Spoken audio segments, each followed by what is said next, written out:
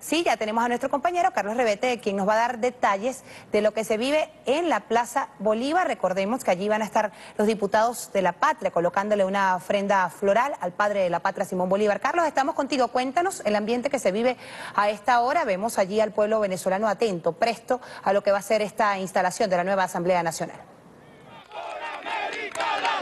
Gracias por este contacto. Continuamos en la Plaza Bolívar de Caracas, acompañado del Poder Popular, que el día de hoy acompañará a los diputados de la Revolución a instalarse en la Asamblea Nacional. Bueno, vamos a conversar con un compañero que pertenece a la red de abasto bicentenario, bueno, y que nos tiene que decir algunas cosas en relación a lo que son esos aportes que la Asamblea Nacional Revolucionaria ha dado al pueblo, como la ley orgánica del Poder Popular, o la ley orgánica, perdón, para los trabajadores y las trabajadoras. ¿Qué nos puede decir sobre eso tan importante que es uno de los aportes que se ha dado en Revolución?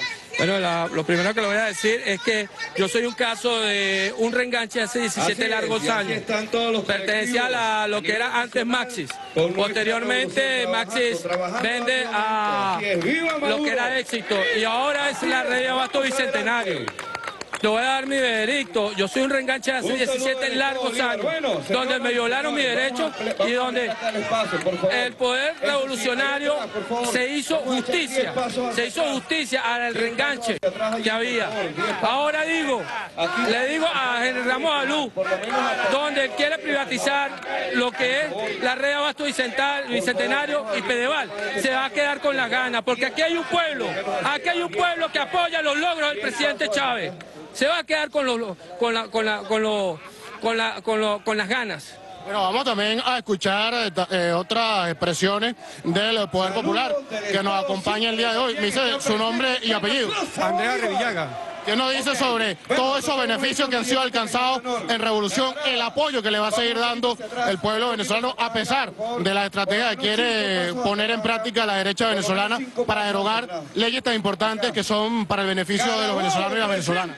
Bueno, esta movilización que estamos experimentando hoy y todos estos días a raíz de, la, de las célebres declaraciones, mafiosas declaraciones de Ramos Arú, es prácticamente un, estímulo para todo el pueblo de Venezuela, porque nosotros estamos aquí en Contraloría Social, salvaguardando todos los sagrados derechos que están constituidos allí en la Constitución Bolivariana de Venezuela. Esos derechos, la estabilidad laboral, lo que es los derechos de las trabajadoras, los trabajadores, la mujer embarazada, el derecho de los niños, los estudiantes, lo estamos nosotros hoy y durante todo este tiempo que está instalada esa mafiosa eh, Asamblea Nacional, representada por Fede Cámara, por Consecomercio, representada por los intereses mafiosos de los banqueros prófugos, nosotros los venezolanos, conscientes y aquellos que están despertando a partir de estas elecciones, nos vamos a declarar en Contraloría Social de esa mafiosa Asamblea Nacional, porque no vamos a permitir que se reviertan los derechos consagrados a todos los venezolanos. Aquí estamos en pie de lucha esperando por último las grandes rectificaciones que va a hacer nuestro presidente Nicolás Maduro y la directiva del PSUV. Bueno, y hablando precisamente de las rectificaciones, de la transformación, fortalecimiento de la revolución bolivariana, nos acompaña también el alcalde de Cantaura en el estado de Anzuategui. ¿Qué nos puede decir como también representante de la voz del Poder Popular sobre lo que significan estas importantes reflexiones y los aportes que incluso se van a dar a ese Parlamento comunal? Bueno, es importante hoy acompañar a nuestro camarada eh, Cabello, Nicolás Maduro.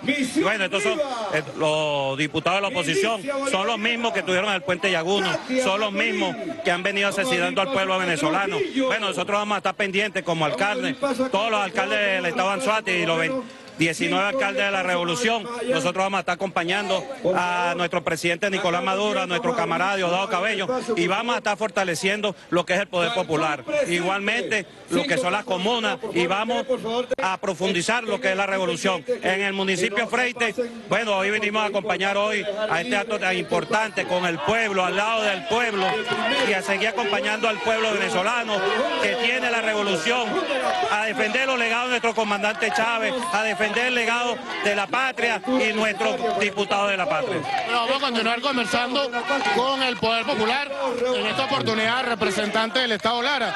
¿Qué nos puede decir sobre las propuestas que ustedes van a dar para fortalecer la estructuración, la rectificación dentro de la revolución bolivariana? Bueno, el colectivo Luchadores porque pertenecemos a un colectivo, estamos presentes en lo que el presidente nos diga, nos pida y al pueblo también, porque nosotros somos pueblo y nosotros como pueblo somos los que necesitamos y el presidente nos necesita tanto la juventud como al pueblo. Y nosotros con él. Bueno, vamos a continuar conversando también con el Poder Popular. Me dice su nombre y apellido. Bueno, Jesús Ramírez, bueno, aquí estamos apoyando a la revolución y apoyando también. Y las propuestas que ustedes hacen para darle fuerza a la revolución bolivariana, fortalecer el Parlamento Comunal, hacer lo que en relación a esas eh, reflexiones tan importantes que den...